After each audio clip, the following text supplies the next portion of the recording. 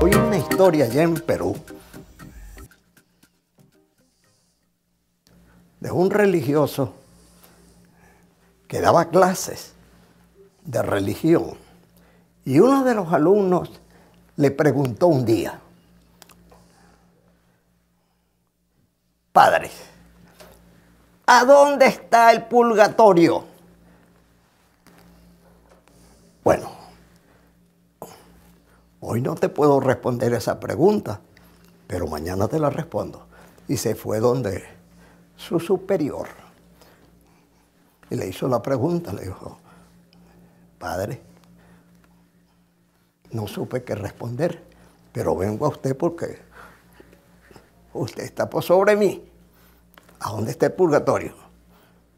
Hombre, decirle que está al lado del limbo. ¿Y en dónde está el limbo?